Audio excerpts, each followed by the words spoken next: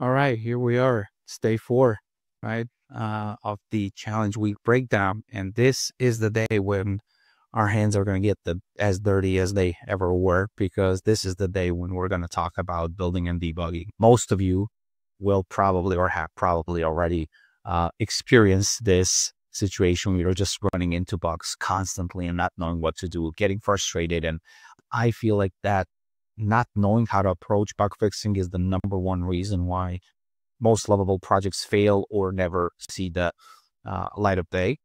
Uh, and I'm hopeful that I'm going to be able to assist you a little bit with fixing that by switching your mindset a little bit um, on this day four when we're going to talk about building and debugging.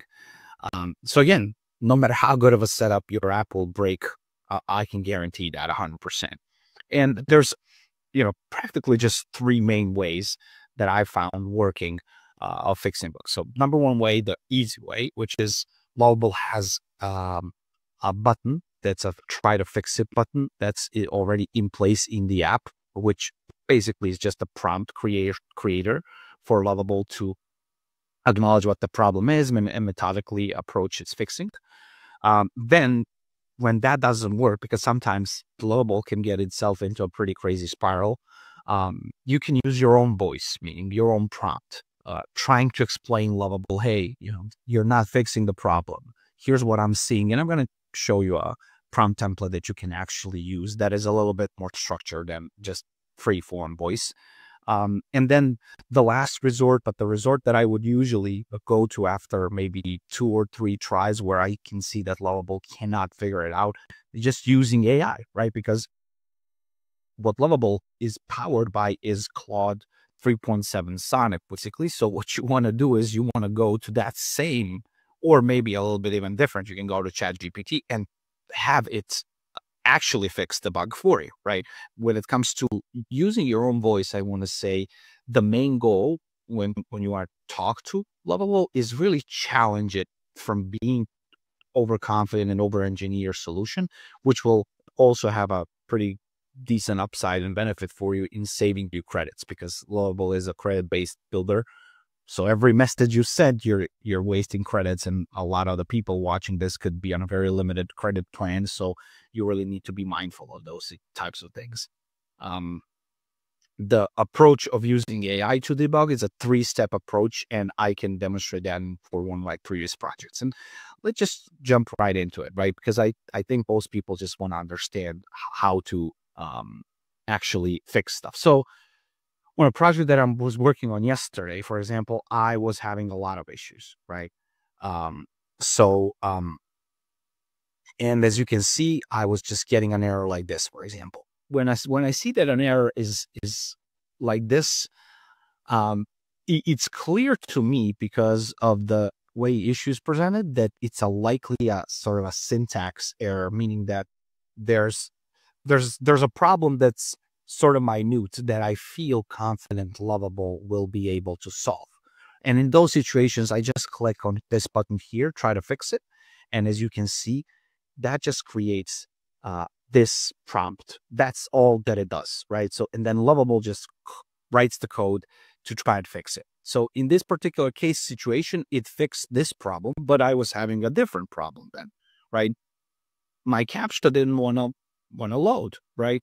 So at that point in time, I was very specific and asked it to extend my CAPTCHA from five seconds to one minute. So I use my tone of voice, right, uh, to, to do this. One of the things that I also do very often when I'm trying to use my own voice and my own prompts is I would accept suggestions such as these, if you can see it on my screen, Lovable will at times suggest refactoring certain files that could be quote unquote corrupted or having a problem. And in the past, I wouldn't do this, but today I am definitely doing it because that way I can narrow down the issue into a much, much smaller amount of code lines. And that is important because of the last step that I'm gonna that I'm going to demonstrate to you, which is uh, fixing uh, bugs using uh, ChatGPT, right?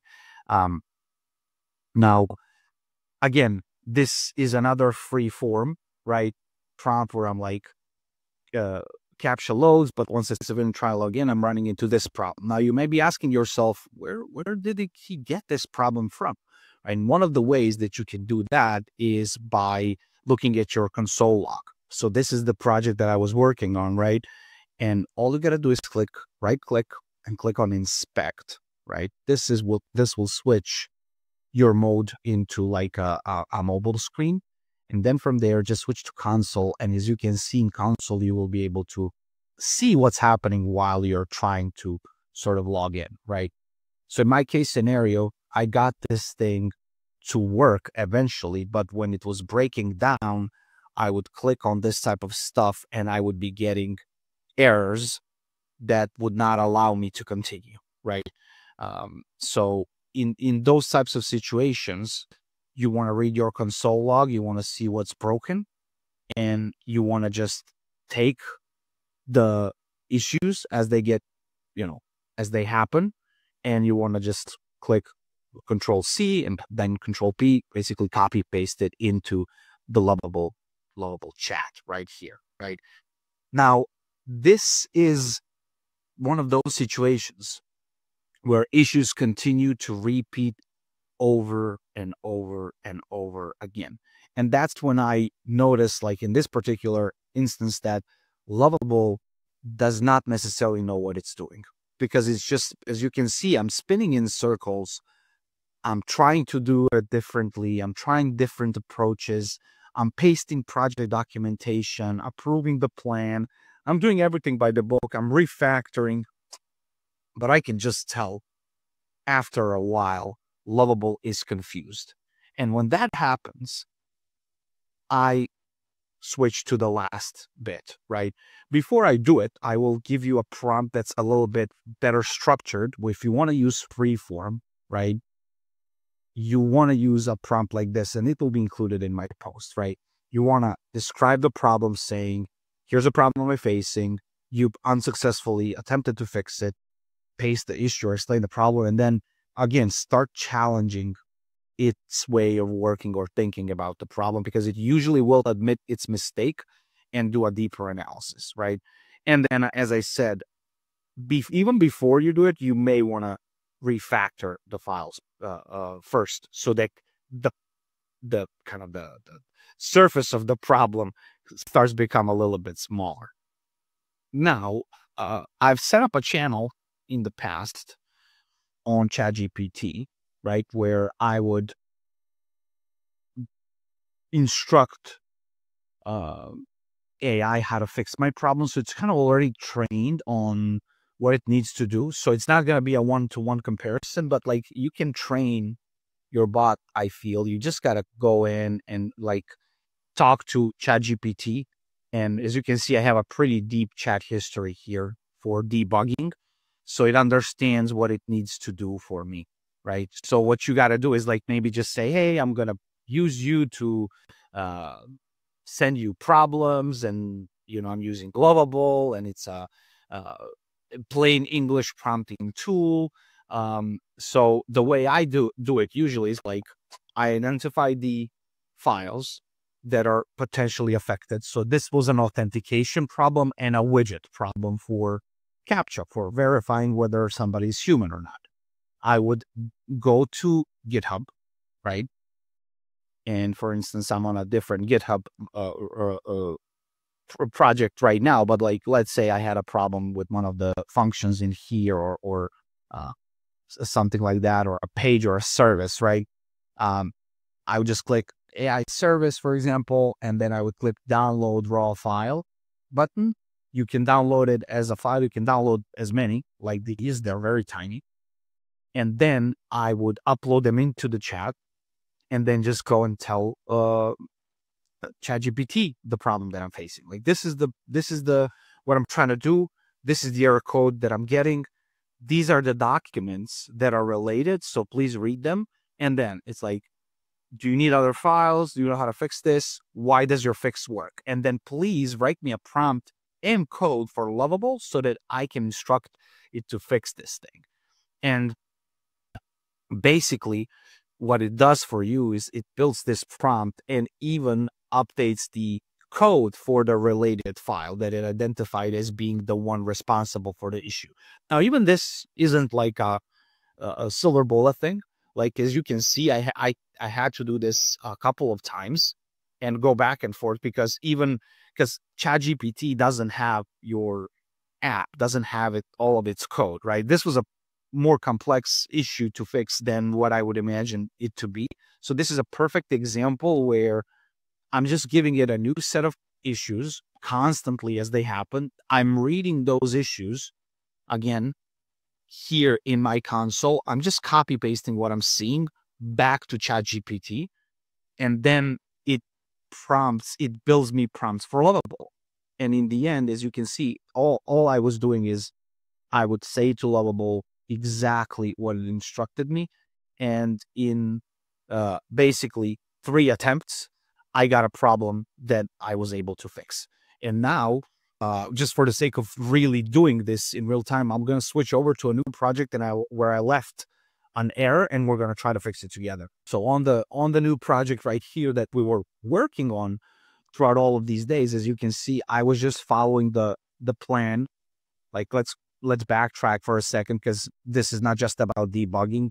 I think this is where we stopped yesterday, and it was like, okay, this is what was done, this is what was supposed to be done, and then I would just like continue with, you know, let's finish this phase, then can we scan the code base so that we can refactor the files? One of the reasons why I like to refactor the files is because they're easier to manage later down the road if there are any code edits that need to be made. But as you can see, after I was done with refactoring, um, I was like, okay, let's finish this up, right? Let's break it down into steps. And we started working on it, and bam, we just encountered a bug, right? So in this situation, uh, what we can do is we can let's let's try and do this, right? I think what you want to start doing uh, early on before you just try to fix it with brute force, you can go to ChatGPT and say, "Hey, I'm getting this error. Please explain what this is."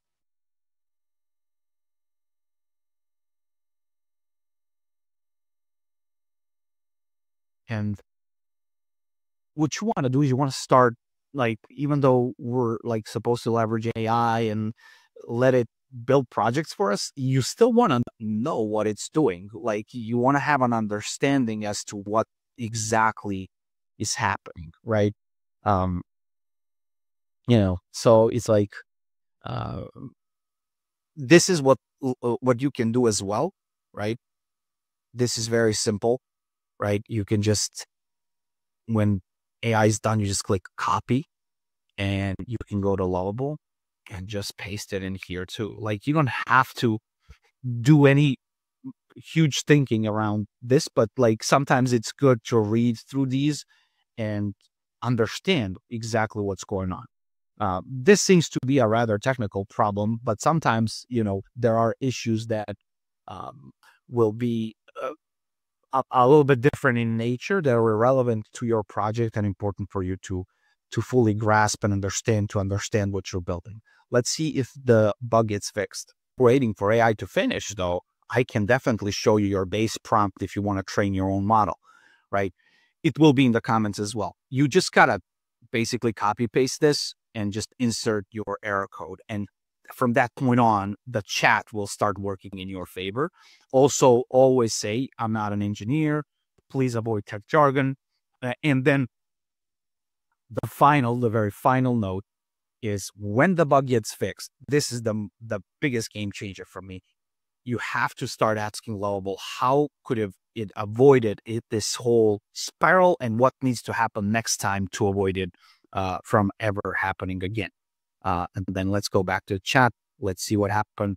Oh, we got another error. Okay. So let's now click to try and fix it this way. This is a great example why sometimes try to fix it works better than the external thing because Lovable has a context window that AI does not. Um, and um, it will hopefully fix this issue.